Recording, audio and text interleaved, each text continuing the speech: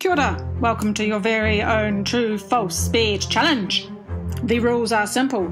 Write T for true. Write F for false.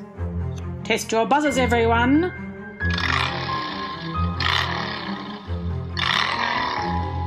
Are you ready?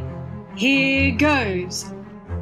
The Journey True and False Challenge. 1. Wilfred was eating crab. 2. Mrs. Bird said they were going on a holiday. 3. Doreen is Wilfred's sister. 4. Old Bird is known as Captain Thunder. 5. Wilfred has seen a bolt of lightning before. Answers True, False, True, True, False. See you all at the next True False Speed Challenge.